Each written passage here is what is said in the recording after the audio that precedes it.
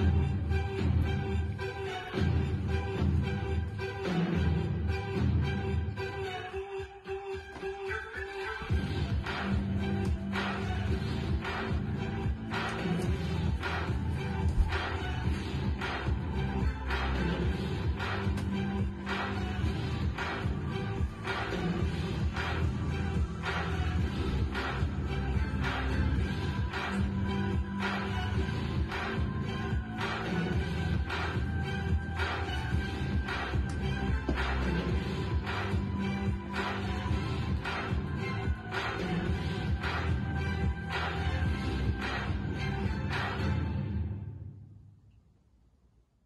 皆さんこんにちは。駒田圭介です。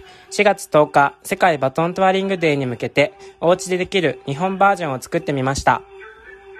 SNS にアップして、世界に発信しましょう。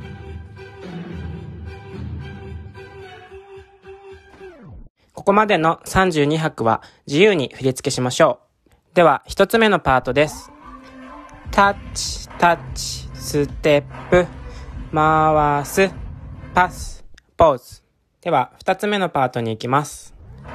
パース、ジャンプ、パームスピン、パス、ポーズ。ここまで大丈夫かな？次は三つ目のパートです。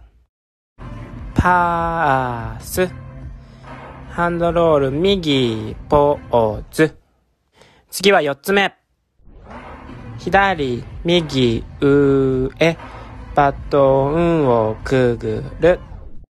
ラスト二つ。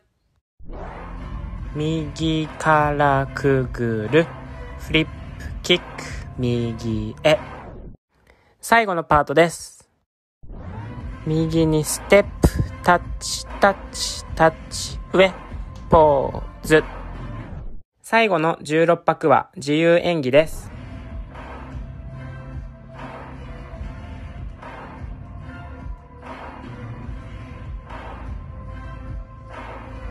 ラストは世界をつなぐポーズでフィニッシュ。